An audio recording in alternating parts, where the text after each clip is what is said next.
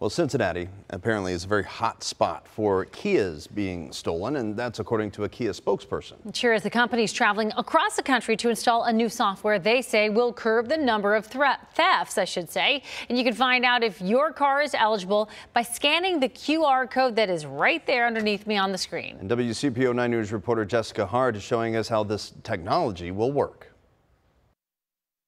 Technicians are installing a new upgrade for select Kias. Kia America will be at Cincinnati Premium Outlets this weekend to install it for free.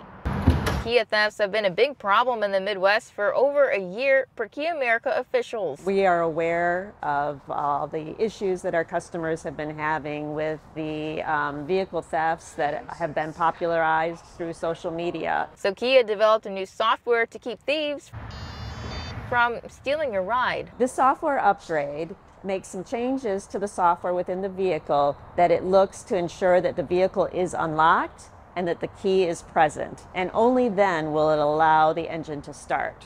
Your Kia has to be unlocked with the key fob. That means if your car is locked, someone breaks in, unlocks your car from the inside, the ignition will be disabled if they don't have that steel key.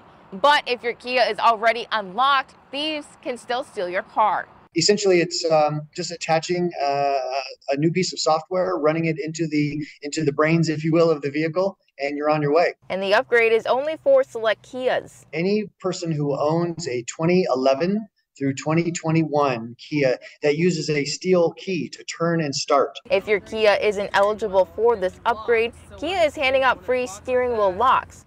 The new software takes 20 to 30 minutes to install and can be done at any Kia dealership. This upgrade is free.